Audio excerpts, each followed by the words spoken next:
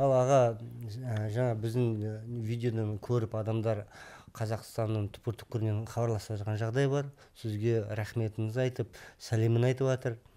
Сол жаңа жаңа өзеннен ау деймін? Ә, хабарласты. Бір жаңағы сол ата жолында бір он он бір жылдай жүріп қалған екен.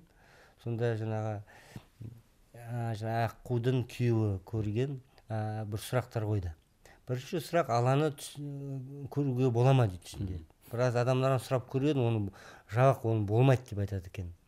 Екінші түсін жауап берсек екен дейді. Түсінде дейді бүкіл пайғамбарды көріп шықтым дейді. Ол неге дейді?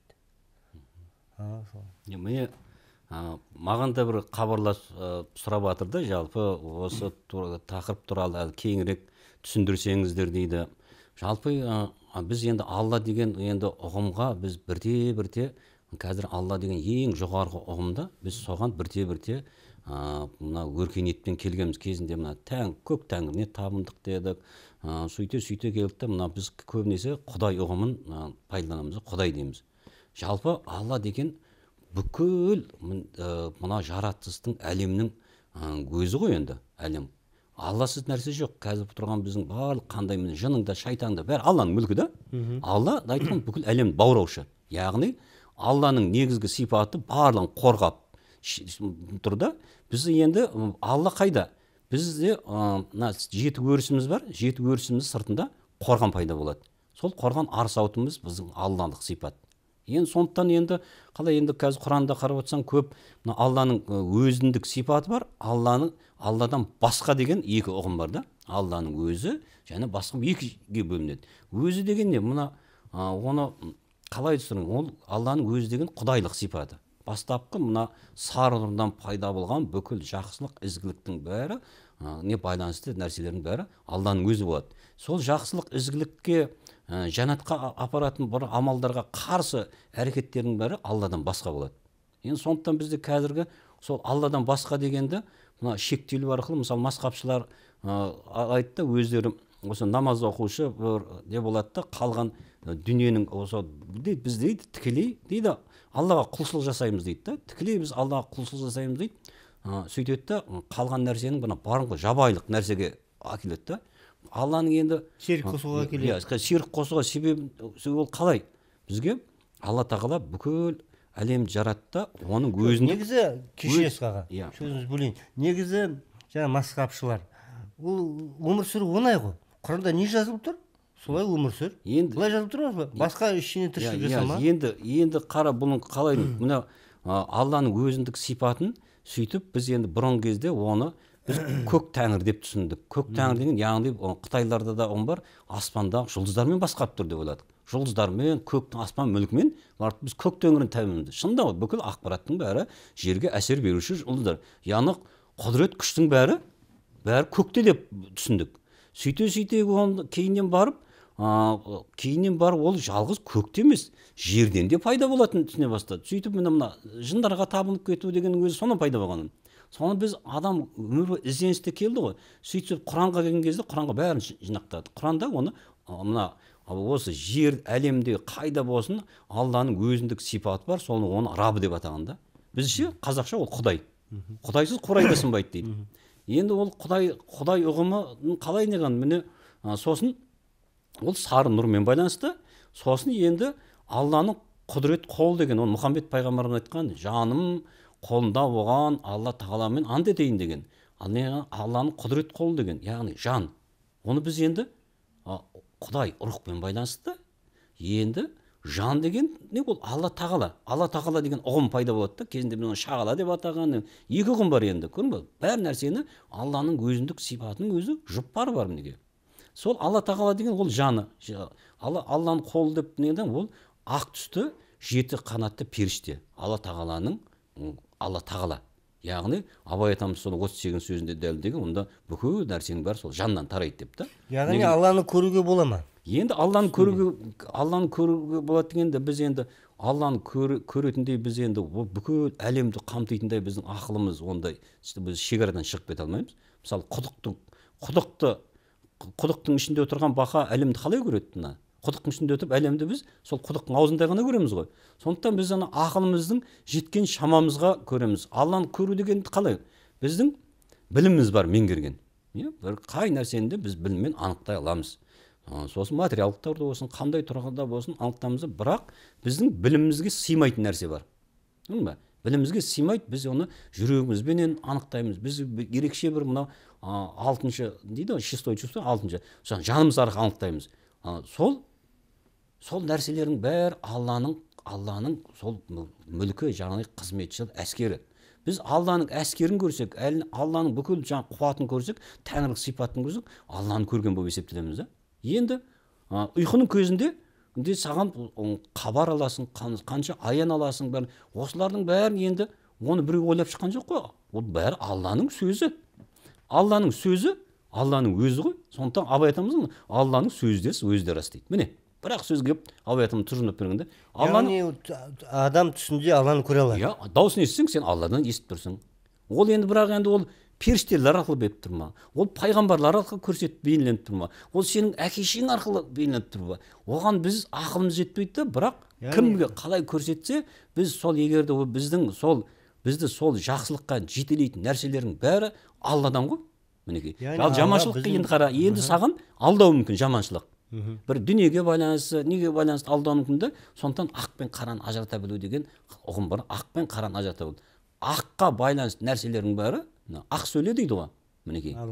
Ол алламен байланысты. Алланың өзі сол. Кімді қалай көрсең де сен енді қара енді осы ұғымнан бастап біз осы ұғымды қатып қалғанда мына басқа діншілер айтты да барлық бітті дейді енді басқа екі ортада ештеме дәнекер жоқ алла дейді. Мүмкін ал енді лә иляха илля мұхаммад расулалла деп алладан басқа тәңір жоқ. Мұхаммед оның елшісінің елші деген дәнекер емес па? Енді мұхаммед тек қана жалғыз емес қой. Мұхаммедтің артында қаншама әулиелер бар сапқа тұрған мұхаммед пайғамбар кез келген пендемен сөйлесетін болса қалай еді әулиелер арқылы жетеді біздің мұхаммед пайғамбарымыз өзіміз әке шешеміз арқылы сөйлеседі. көшіп бара жатқан сияқтымыз негізі түсіңізде мұхаммед пайғамбар алейкумассалам иса пайғамбар болсын. Негізі пайғамбарларды көруге бола ма? Ана кісі айтып отыр түсімде бүкіл пайғамбардар жүз қырық деді ма пайғамбарды көріп шықтым енді енді бұнда құранда былай деген. Мынау біздегі қандай нәрсе ақпаратты дәндеп отырғанда осы өмірімізде иман діні мына немен бидаймен байланысты. Сондықтан мына сендер дейді мүміндер деген бір сабақ бидайдың дейді бір бір бір бас бидайдың бір жеті сабақ шығарып әрқайсысында жүз дәннен бергеннен дейді. Яғни адамда жеті жүз чакра бар. Біз осы жеті жүз чакра арқылы иман дәні ғой. Қанша чакра? жеті жүз чакра болады. Болу керек. Соны өсіруіміз ашуымыз керек денедегі. Сол жеті жүз чакра арқылы біз жеті жүз ақпараттық жүйеге жалғанамыз. Яғни біз жеті жүз пайғамбар ма жеті жүз елші ма ол? Сол алланың сүйікті құлдары арқылы біз жеті жүзге жалғанамыз. Міне көрдіңіз ба? Бұл бүкіл жеті әлемге осылай әр әр әлемнің өзі жүз жүзден біз жеті жүз жеті әлемге жеті жаратқан әлем ғой жеті күнде. Сол жеті күнге біз осы жеті шақырға жалғанамыз сондықтан енді енді мен өз тәжірибемнен айтамын ең бірінші мен мұса пайғамбармен кездестім. Мұса пайғамбардың екі баласы бар екен. Оны әдепті мұса пайғамбар деп білген жоқпын. Бір шалмен қасында жүрмін. Шалдың жаңағы екі баласының еділ мен есіл баласы бар екен де еділдің балдары көп. Есілдің еділдің еділдің баласы аз да есілдің баласы көп екен да. Соның солардың арасында мен жаңағы дүниені бөлісуге қатысып жүрдім да.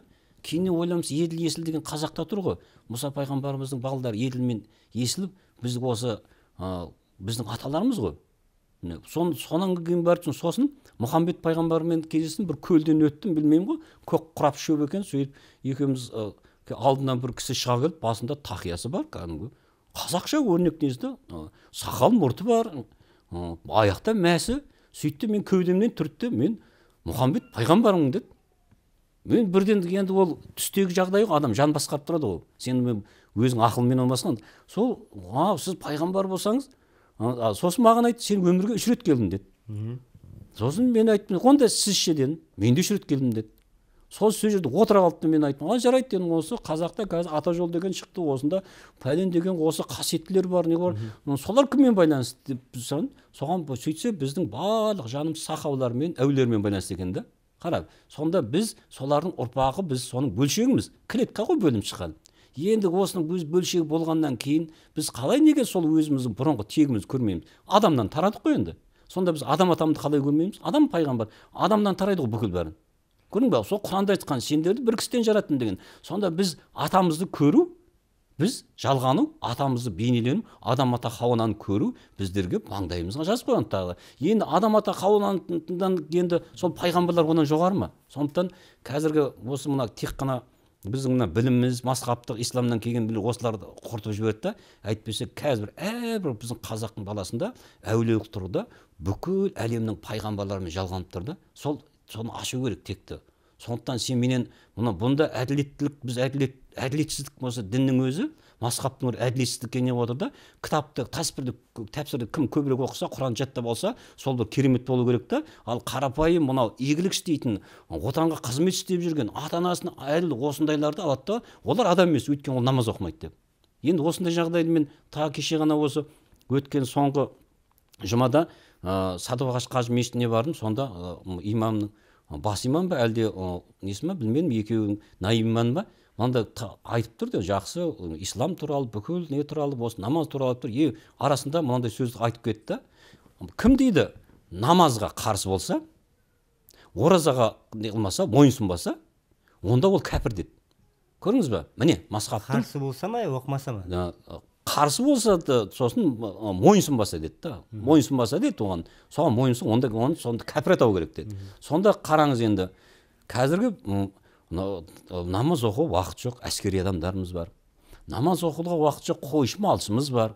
Ораза ұстауға ауруларымыз бар. Бірақ олардың бәрі адамдық тұрғыда өмір сүріп жатыр ғой. Құдай алдында ол құдай алдында адал ғой. Ешқандай ала жіп таптамайтын болса ізгілік істейтін болса осындайлар көп та солардың бәрі кәпір болу керек па? Мінекей енді осыдан не пайда мысалы егер де адам адам намаз оқымайтын болса ораза ұстамайтын болса сол мына нелерді орындамайтын болса онда біз ол масхабта жоқ. Масхаб сол емес. Иә масхаб жоқ. Енді сонда қара енді түсіндіріп отыр қазақ иә қазақтың қазіргі қазіргі сонда масхаб ұстанушы көп болса бір он ақ пайызы бар шығар. Қалғандарының бәрі енді масхабта жоқпыз ғой. Сонда біз қандай дін ұстауымыз керек? Міне ал енді енді ата дәстүрінің тұрғынан келсек сен қандай жағдайда бол құдайшыл бол адал бол обал сауапты білсең сен қазақтың ата дәстүріндесің. Міне көрдің ба сен арды аттамасаң арсыздыққа ұятсыздыққа бармасаң сен ата дәстүріндесің. Яғни сен құдайдың құлысың мінекей. Біздің ұғымымыз сондай ғой. Біз сондықтан мына а енді тарихатты алатын болсақ тарихатта айтады енді мынау ә, сендерді дейді біз ілімдіміз дейді. Мына жүректің тазалығымен не дейді да олардың да негізгі несі? Олардың намазы күрделілеу иә. Пірге қол болу керек пірдің айтқан намазын орындауың керек. Егер де оны орындамасаң сен тарихатта жоқсың. Көрдіңіз ба ал енді қазақтардың түсінде кез келген пенде қазақтың. Ол мағрипатқа жалған тарихат түгел кез келген қазақтың пендесі осы ақиқатқа жалғанып тұр да. Бізде ақиқат өзімізде. Біз тек соны бұлағын көзін ашуымыз керек соны көбейтіп өсіруіміз керек. Сондықтан қазіргі мына масхабшы имамдардан көрі бір қарапайым қыздарымыз әйелдеріміз аянды жақсы алады да көреді. Ақиқатқа жалғанады. Бірақ енді оны тазарта алмайды оның жоруын білу керек оны алданбауың керек. Ол мысалы сен ібіліс аңдып тұр сен ана ақиқаттан белгі алдың көріп келдің ашыла, ашыла бастадың да жаңағы айтқан тақырыпта саған пері кіріп алады да саған әбден жұртты бүйтіп алады жұрттың бәрін сен көзіңе қаратып аласың. Сол кезде болады да теріс ақпарат салады да өзі ана жындық ақылды негіздеп байлап тастайды міне қазіргі қасиеттілердің бәрі жұрттың ақылын байлаумен айналысады да.